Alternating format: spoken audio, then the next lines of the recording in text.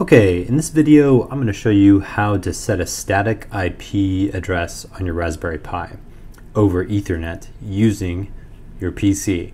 So at this point you've set up your Raspberry Pi, the SD card is in, the power is on, the light, uh, the red light is solid, the green light on the Raspberry Pi is blinking, you've got it connected to your PC over Ethernet and the Ethernet lights are both solid and on. So this means that your Raspberry Pi is up and running correctly and you've got it plugged in over Ethernet to your PC. However, you may have had trouble for one reason or another pinging dex.local, the um, dynamic uh, host address. So what we're going to do is set up a static IP address that we can reach the Raspberry Pi over the network on.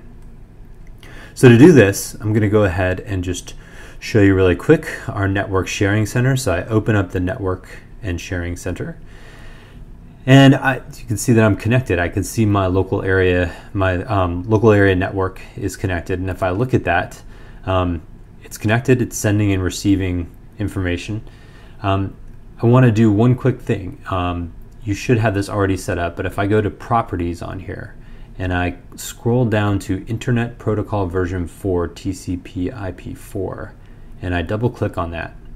Just make sure that obtain IP address automatically and obtain DNS server address automatically, that these are both clicked. If they're not, then you won't be able to, the dex.local um, hosting by Bonjour won't work. I should have mentioned that in the beginning. I'm assuming you have Bonjour working as well. Either way, we're here to do this now. So the first thing I'm going to do is I'm back at the local area connection status. If I click on details, I'll notice that one, two, three, four, the fourth thing down is auto configuration IPv4. And this is four sets of numbers starting with 169. So in my case, it's 169.254.207.211. This is important because what I'm going to do is I'm going to jot that down. I pull up the command line just as an easy way to jot a note down. I'm going to type it in. It's 169.254.207.211. It's important to get the exact numbers right here.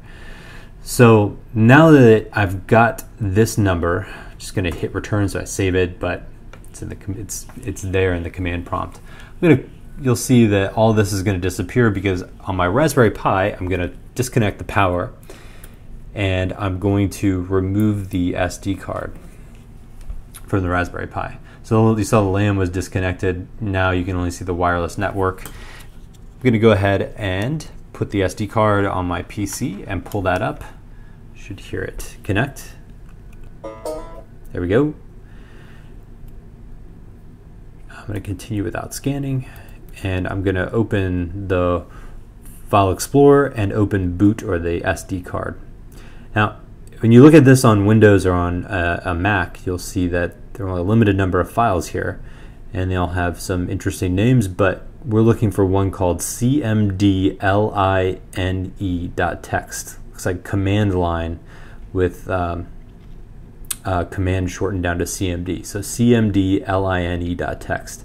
Now if I double click that or I open that with the standard notepad, should be able to open it the last, the last word on this file should be rootwait. So all I want to do is very, very specifically, I want to type in space and then the letter I and the letter P and then the equal sign. No space in between there. I'm going to go back to that number that we copied down, 169.254.207.211. This last three digit number I'm going to add one to it. So in this case, 211, I'm going to make it 212. So let me just go through that really slowly. 169.254.207. So these three numbers, these three sets of numbers are still the same. Then dot 211 is the original, so it's going to be 212 is the new number. I'm going to save it. You can see I control S on that, and I'm going to close it out and I'm going to come back in File Explorer and eject my disk.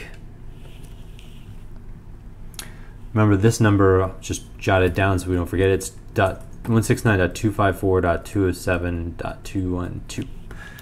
I'm going to take my SD card out.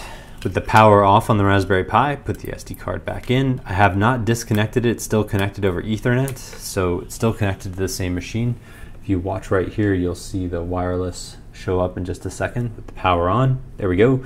My local area connection is now connected. That means my Pi is connected over Ethernet. And all I should have to do is come back and I'm gonna type ping this specific number, ping 169.254.207.212. You can see there you go, I've got a response. And I'll also just, this may or may not work for your system depending on what's set up and what's happening with it, but I'll try again dex.local. So ping dex.local as well, and see if it's recognized. There we go.